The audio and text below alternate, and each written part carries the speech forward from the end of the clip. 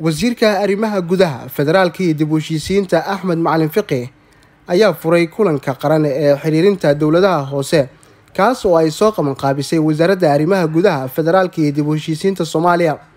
Kulanka ayaa waxaa goobjoog ka ahaa wasiirada arrimaha gudaha ee dowlad goboleedyada iyo howlwadanadooda iyo gobolka banaadir waxaana lagu falanqeynayay arrimaha dowladaha hoose iyo caqabadaha jira agaasimayaasha iyo la taliyayaashii sare ee ka socday wasaaradaha arrimaha gudaha ee dowlad goboleedyada iyo gobolka banaadir ah ayaa waxa ay soo bandhigeen qorshe howleedyada ku saabsan arrimaha dowladaha hoose.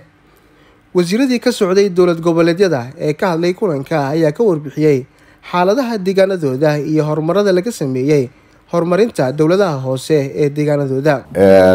Waxaanu qabanay shirar wasaara heer wasaaradeed iyo heer maaragtay degmooyin oo maaragtay lagu diyaarinhayo. Sidii maaragtay loo gudageli lahaa hawsha maamul daadejinta baad celin iyo intaa warbixintaa kadib jubbaland waxay dadaal badan u gashay arrimaha dowladaha hoose gaar ahaan dib u heshiisiinta dib u dejinta la tashiga bulshada saameynta iyo sameynta iyo meel marinta shuruucda aasaasiga ah iyo kobcinta awoodda degmooyinka. Iyo challenges waxaa kaloo jira waxyaabo kaleeto oo iyagana achievements oo la qabanaya intaa ama ha noqdeen dhismayaashii golayaashii deegaanka ama wixii kaloo la halmaalo oo la xiriira dowladaha hoose. Waxaa kaloo jira priorities oo iyagana runtii ay tahay inaan muxuu ahaa halkaan ka soo gudbino annagu ka wasaarad ahaan runtii guddiga technicalka iyo wasaaraddaba waan u soo gudbinay arrintaa iyadoo document oo qoraal ah. Waxaana jecel lahay inay ama iyagu soo gudbiyaan ama tiimamo kale oo wasaaradda igala socday ay iyadoo soo gudbiyaan. Waa qoraallo dheer dheer oo halka kan hadda. Runtii aan isleehayn anagu kelmadda un baan ka jeedinaynaa waxaa waan gudageli doonaa haddii alla idmo. Waana waxaa shirkuba hadda aan isugu nimid mar kale hirshabelle taramtuugii waxaa dhacay conflict oo political ah iyo dhismihii. Habsan ka dhacay ayaa mataqaanaa wax badan oo dowladaha hoose ayna u dhaqaaqin.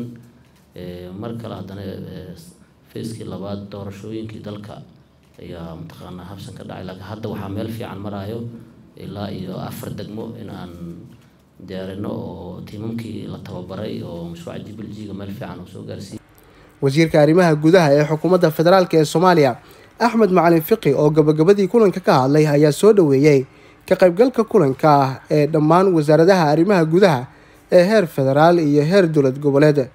Waxaa kale oo uu bogaadiyey wada shaqeynta soomaalinimada walaaltinimada ku dhisan isaga oo rajo ka muujiyey miro dhalka kulanka si qorshe wadajir ah loola tago saaxiibada caawiya soomaaliya. Saddex arrimood oo waaweyn waan isleenahay waxtar bay noo leeyihiin inaan sii tashanno.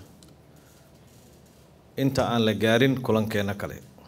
Maxaa caqabadaa sidii hadda wasiirku uu sheegay. Maxaa caqabadaa oo u baahan inaan dhammaanteed ka wada tashanno kadibna aan si wada jira u wajahno xalkeeda.